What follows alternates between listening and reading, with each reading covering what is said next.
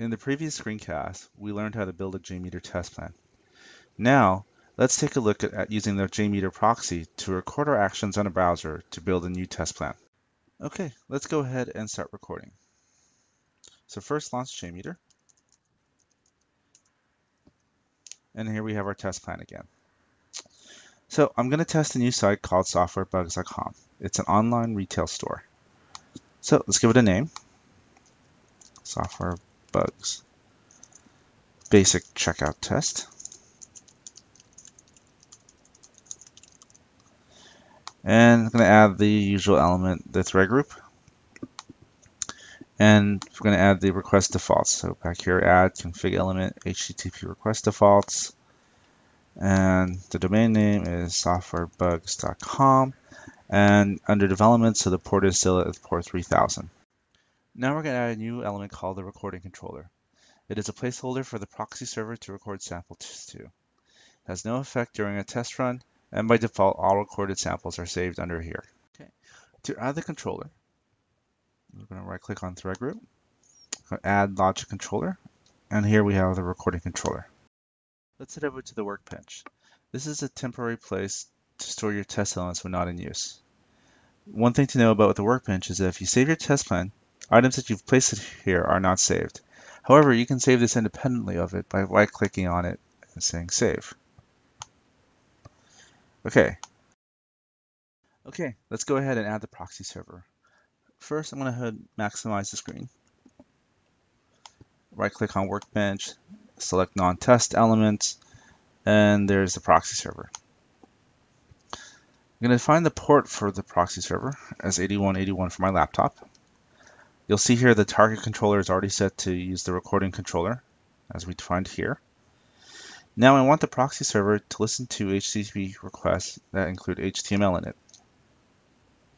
or correction, the .html file. So go ahead and click Add, and with a regular expression, I want to listen for everything that ends in .html. The nice part is I can also tell JMeter to not listen to certain file requests.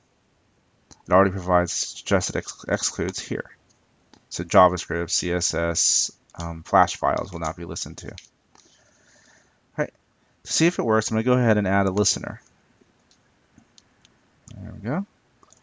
And view results in a tree. Now go back to the proxy server. I'm going to go ahead and start it. Now, let's go ahead and configure our browser to go through the proxy server. Okay, let's go ahead and open up our browser. Select Firefox.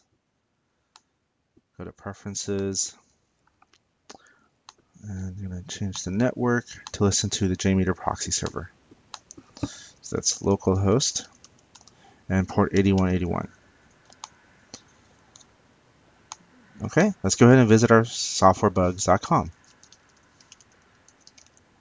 It's port 3000 under development. And there's the website. Now, the listener has recorded a lot of information as the browser went through JMeter to the actual website. But notice, as I mentioned earlier, that everything that we record from the proxy will be placed under the recording controller. And currently there are no samplers. When we look at the results tree, we'll notice that in the request, there are no .html files. So we have to go back to our proxy server and make adjustments to our URL patterns. Now that we've added all the URL patterns that we're interested in, let's go ahead and record our script again.